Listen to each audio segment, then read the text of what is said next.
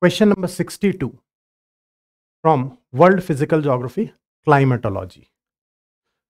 So first statement, the question talks about insolation and the first statement, the total amount of insolation received at equator is roughly 10 times of that received at the poles. Now the reference to this can be found from NCERT itself. So NCERT chapter number 8, what can be seen is a spatial distribution of insolation at the earth's surface. And from here, if you see this statement, the insolation received at the surface varies from about 320 watt per meter square in the tropics to about 70 watt per meter square at the poles in the poles. So at the uh, tropics now it is saying 320 at tropics and at poles is a 70 watt per meter square 320 uh, watt per meter square.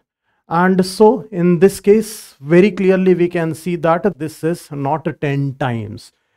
Okay and anyways 10 becomes very extreme multiple. And hence the first statement becomes incorrect second statement that is infrared rays constitute roughly two-third of the insolation now with respect to this statement what we can see is the different parts of the spectrum from the insolation, the radiation uh, from the sun, the energies are emitted at different frequencies or different wavelengths. And so based on that, if we see, first of all, infrared radiation constitute almost 49% of the insolation. Okay, whereas the visible light constitutes a 43%.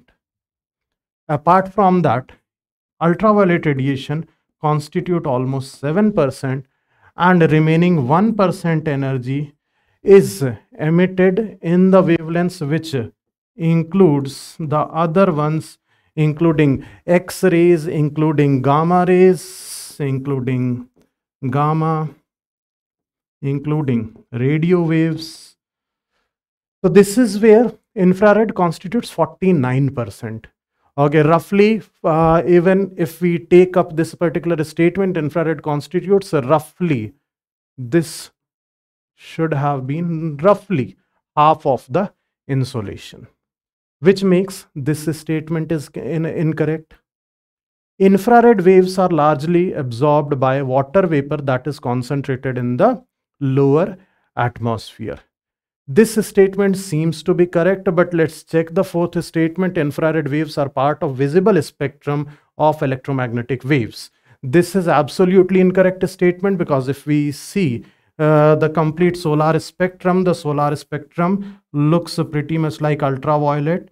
After that, based on frequency, if we see visible, and then we have infrared, which is decreasing frequency So in this case, the infrared waves definitely are different from visible spectrum. We can see very clearly over here, which makes this statement incorrect. Then as much as water vapor is concerned, now water vapor is a major uh, greenhouse gas. So it is definitely able to absorb a lot of infrared radiation, which makes the this statement that is C to be correct for this question.